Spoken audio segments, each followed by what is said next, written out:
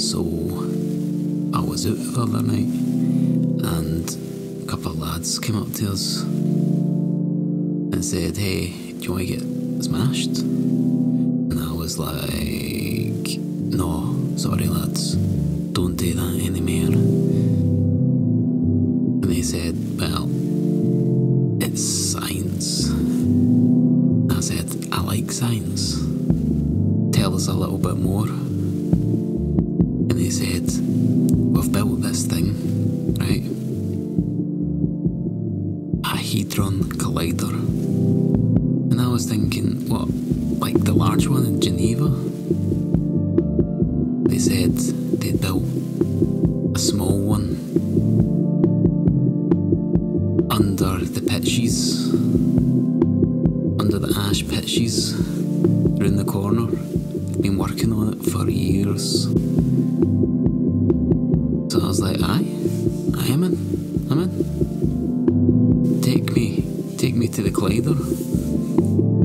So off I went with them. And they says, right, it's a particle.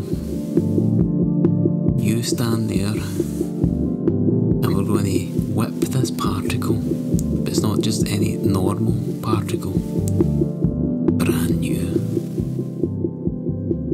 To tell us they reckon it was like it was like a consciousness particle or something. So I'm sitting there and I can hear the machine whirring up magnets, dials, cogs, you name it. Wee tiny particle reaches the speed of light. Whack right through me.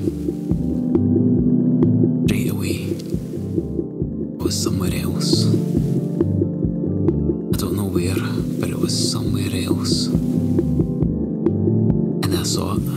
I saw him, the big man.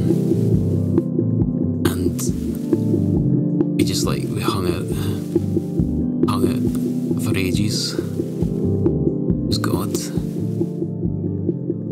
And I knew everything. Like, I just, uh, everything I knew. And I was like, I need, I need to get back been good. It's been good. I've really enjoyed myself. And he's like, aye, on, on you go, on you go, pal. I said, like, well, will I see you again? And he goes, I'm here, I'm here with you all the time. And